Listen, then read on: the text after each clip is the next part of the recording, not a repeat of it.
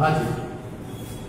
पहले वीडियो में हमने पढ़ा था, साधारण भाग जिनमें कोई शेष नहीं बच रहा। सीधे सीधा भाग दिया था, दो का पहाड़ा भाग देना, चार में दिया, दो दो चार चार आ गए। बहत्तर में नौ का भाग दिया, नौ अठ बहत्तर आठ आ गए। आज हम देखेंगे कि भागों के अंदर शेष बचता है, तब कैसे भाग बन सकेंगे मान लीजिए भाग नहीं, अब जैसे अपन को तीन का भाग सोलह में देना है। वही काम तीन का पहाड़ा में लिखेंगे तीन तीन, छह, तीन तीन, नौ, तीन चौक बारह, तीन, पंच, पंद्रह, तीन छः अठारह तीन सात इतने में अपना काम हो जाएगा। अब देखिए, अब तीन में आपसे मैंने कहा था कि गुरु आपने कहा था कि वो संख्या उस पहाड़ पे होगी। अब तीन के पहाड़ में सोलह है ही नहीं। नहीं है, कोई दिक्कत नहीं है। तो हमको ये संख्या देखने की मैंने एक बात भी कही थी कि जब हम भाग देते हैं तो बीच वाली जो संख्या है भाज्य भाज्य तो इसके नीचे इससे बड़ी संख्या नहीं आनी चाहिए।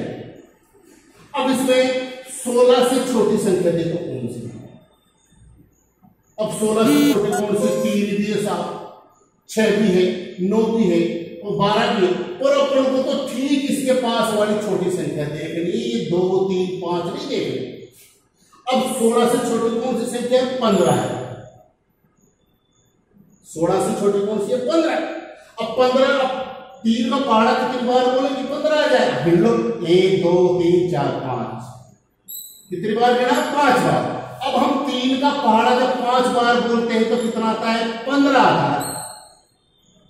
पंद्रह इससे छोटा भी है तो हम करेंगे तीन पंजो पंद्रह। अब अपना का काम जाता है पहले के बाद में फिर घटाना।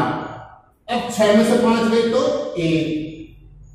और एक में से गए तो कटस या ज़ीरो भी लिख सकते हैं। तो इस प्रकार से यह हल करेंगे अब ऐसे तो इसी प्रकार दूसरा देखते हैं। इसमें अपन ने तीन का दिया था, इसमें चार का देगा काम को कब होइए चार। अब देखिए वही समस्या उन्नीस इस पहाड़े में भी नहीं। अब अपन को करना क्या है, उन्नीस से छोटी संख्या देखनी है। क्योंकि इसके नीचे जो संख्या आएगी वो इससे छोटी ही आएगी। इससे बड़ी नहीं आएगी, इसके बराबर होगी तो आ जाएगी। और पहाड़ में उन्नीस है ही नहीं। तो इससे उन्नीस से छोटी कौन सी संख्या है? सोलह और बारह, आठ और चार। लेकिन अपन को तो ठीक उन्नीस से पहले जो आती है वो देखनी है। तो उन्नीस से पहले कौन सी आएगी? पहाड़े के अंदर देखनी है गेंदे की गिनती के अंदर। उस पहाड़े में होनी चाहिए। अब उन्नीस से छोटी कौन सी संख्या आएगी? सोलह। अब कितनी बार गिनेंगे? एक, दो, तीन, चार। कितनी बार गिना? चार बार। अब अपन चार का पहाड़ा चार बार बोलना बोला तो कितने आए? सोलह।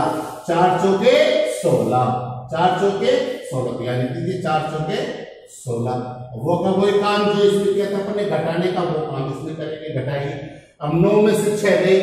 अब नौ में या तो आप ऐसे उंगलियों पे घटा लो या लाइन खींच के भी आप घटा सकते हैं, एक, दो, तीन, चार, पाँच, छह, सात, आठ, नौ। पर ये पद्धति पुराने इच्छा कम कर दो। एक, दो, तीन, चार, पाँच, छह। कितने बच गए तीन। अब एक में से एक है तो ऐसे जैसे ये पाँच का है, अभी इसमें पहाड़ा नहीं लिखेंगे। सीधा करेंगे। अब पाँच का पहाड़ा कितनी बार बोलो कि चौतीस आ जाए। अब पाँच के पहाड़े भी चौतीस भी नहीं आते। या तो तीस आते या पैंतीस आते चालीस आते तो पहाड़ा पर पाँच एकम पाँच पाँच नौ दस पाँच तीन पंद्रह पाँच चौदह बीस पचास पच्चीस पाँच छः तीस पाँच सात पैंतीस पाँच आठ चालीस अब और चालीस तो और भी ज़्यादा हुए तो पाँच का पहाड़ा सात बार बोलते हैं तो, तो पाँच सात पैंतीस आते हैं. तो पैंतीस इससे ज़्यादा हो जाते हैं. तो हम पाँच का पहाड़ा सात बार नहीं बोल करके कितनी बार बोलेंगे? छह बार। कितनी बार बोलेंगे? छह बार। और पाँच छीके तीस। पाँच छीके तीस। और घटा दीजिए। चार में से ज़ीरो गए तो चार। तीन में से तीन गए तो कटा सिर्फ़ बाकी का निशान। ठीक है ना? और देखो, दो सवाल और समझा देता हूँ, दो आपको घर से करके करने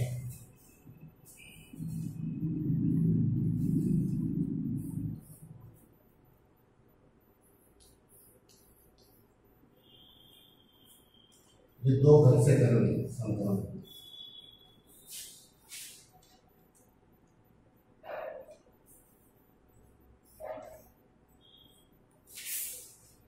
अब देखिए, छह का भाग देना पड़ना छह के पहाड़े में चार पाते आते ही पहाड़ है, सो छह होता है।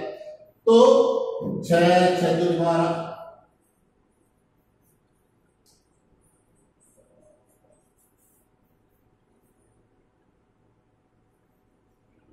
अब देखिए अब छह के पहाड़ में सैतालीस नहीं है, अड़तालीस तो है। और अड़तालीस से पहले बयालीस है।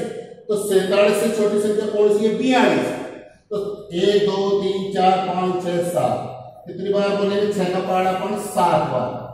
कितनी बार बोलेंगे? छह का पहाड़ा सात बार बोला तो कितना आ जाएगा? बयालीस। छह, सात बयालीस। अब घटा दीजिए, सात में से दो गए तो पाँच। पाँच से से है। ऐसे इसमें सात के बारह सात चौदह इक्कीस, अभी इक्कीस से ज़्यादा हो गया, अपना काम तो एक पूरा हो रहा है। तो सात का पहाड़ा इतनी बार बोलो कि बीस से कम रह जाए तो सात का पहाड़ा एक, दो, सात, दो नहीं चौदह दस, अब ज़ीरो में से छह नहीं जाता तो इसको डालेंगे दस दस में से छह, चार गए तो छह, एक में से एक तो कटस ये छह आप शेष गया। अब ये भाग तो पढ़ने कर लिए और ये सही है या गलत है, इसके लिए क्या करेंगे? भाग फल को और शेष फल को जोड़ देंगे। एक गुणा कर देंगे। छ गुणा सात प्लस, अब छह गुणा से सात छिके बयालीस। अब इन दोनों संख्याओं को गुणा करने पर ये उत्तर आना चाहिए? गुरु जी आपने ये बताया था पहले। बिल्कुल सही बताया। था लेकिन उसमें शेष नहीं था। तो इसमें शेष है तो इस बयालीस में अपन पाँच भी जोड़ देंगे। बयालीस और पाँच सैतालीस, हमारा उत्तर बिल्कुल सही है। इसी प्रकार इसको कर लेंगे और ये दो सवाल आपको हल करने हैं।